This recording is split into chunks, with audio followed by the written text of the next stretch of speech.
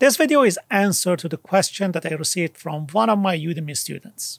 We want to see how we can use a combo box to filter the columns, not the rows, columns in a data table in Power Apps.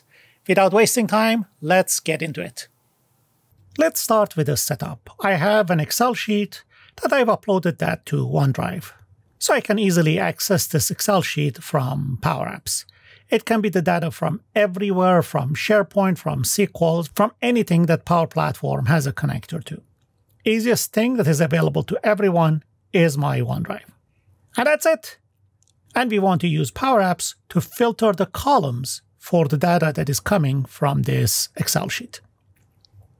This is the Excel file that I have. The only thing that I need to change is the data field that I have here for the date. It's called order date because it's date data type and Excel saves the date in a weird format that Power Apps doesn't like it.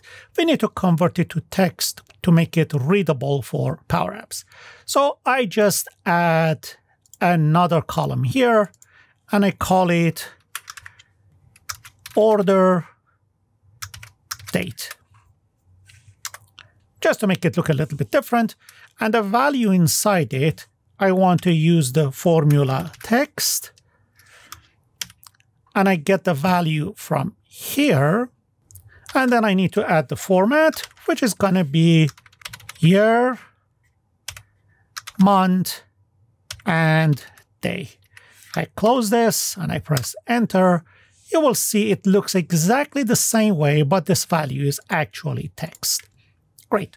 So I just save it and just make sure you close it before you open it inside Power Apps. I close this, we go inside Power Apps, and I want to create a new app. This new app is going to be Canvas app, combo box, filter for columns. Weird name, but that's okay. I click on create, and the app is created. Now, inside this app, first thing I want to do is I want to create a connection to that Excel sheet. So I click on this that icon, and I want to add a data connector. Data connector is going to be Excel. I use Excel Online for Business. Click. On the top of the list, I have OneDrive for Business. I click on it, OneDrive, and I go to Power Apps Demo. The file that I have is going to be is order sample. I click on it and it shows me the sample orders, which is the table inside it. I click on connect and bingo. The connection is created and I have all the data inside this app. Now it's time to use it. So let me click on this plus and I want to search for data table. I add the data table here and I pick the sample orders of course, the data table is not going to show me anything because I haven't selected the field that it's supposed to display. So let me make it a little bit bigger. And I click on Edit Fields. And I start adding the fields. Now you see we have one order date that was there and another order date that I created to have it calculated. Let me show you quickly why I did that. So if I click on Add Now, you will see that the original one doesn't show me anything because of the special format that Excel uses to save date type. It's not our topic, so I don't want to get into the details of it. So let me just go to the tree view. And now this is the time to add the other fields. So I click on Edit Fields. So I don't need this order date that came originally with the Excel sheet. I remove it and I click on Add Field and I add the other fields that I want to use here. So I go for, for example, item, region, rep, unit cost, units, and finally the total. I click on add and all the fields are added to this data table. Great. So, so far we did just the basic setup. Now I want to have a combo box that can show or hide some of these columns. What I want to do, I want to say order date and order item. I want them to be displayed all the time but users can pick region, rep, unit cost, units, or total based on the combo box that I want to provide here. During runtime, we are not adding or removing columns to this data table. All the columns that we want to display, they are here. The ones that we don't want to show, we just hide them. I go to this plus sign and I add a combo box simply because combo box can be multi-select. It's added here. And I need to add the name of these columns as the items to this combo box. Let me just rename it to CB underscore selected fields. Ah, I misspelled. All right, no worries. Okay. Let me make it a little bit bigger. All right. And now the available items for this combo box should be the column names. Let me just open that Excel sheet again. This is the field that Power Apps added. We don't worry about it.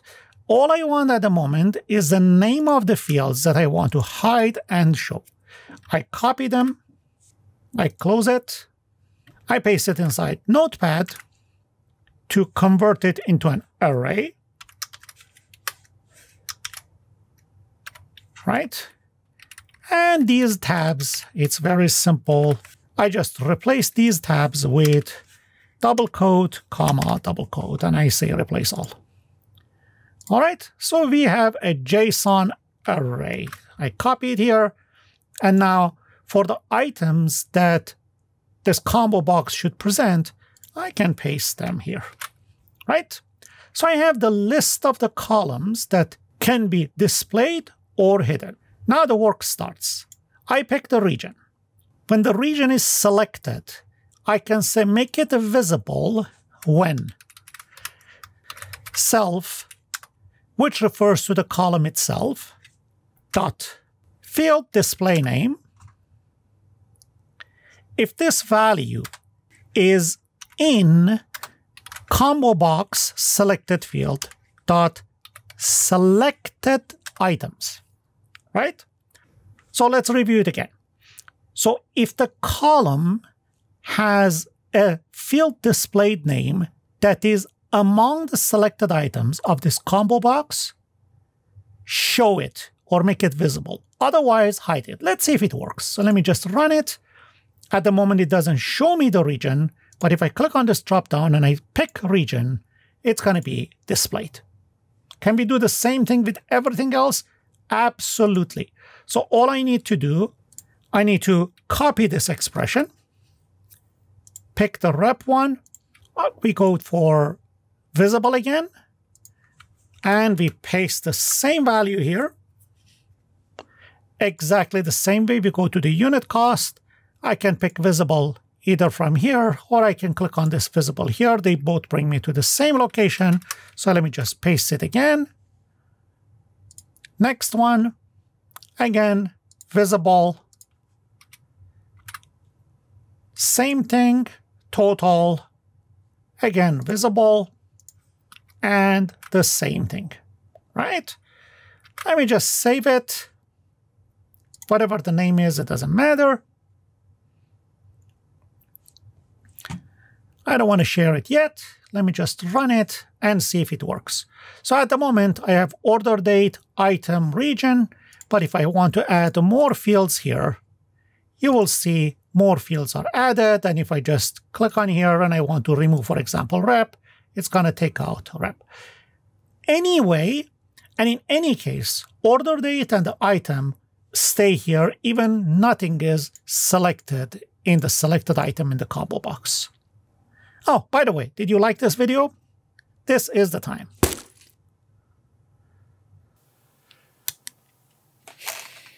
And that was it for today. Thank you for watching, and I will see you in the next video.